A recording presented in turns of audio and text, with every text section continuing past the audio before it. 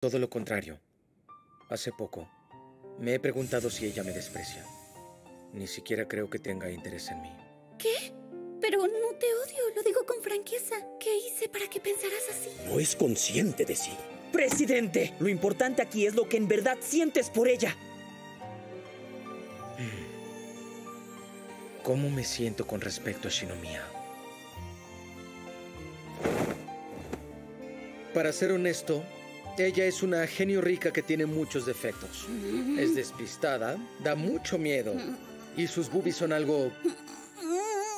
Pero tal vez todos esos puntos son buenos. Es adorable, una belleza refinada, elegante y además es capaz, brillante e inteligente. Sí, Shinomiya es una mujer perfecta.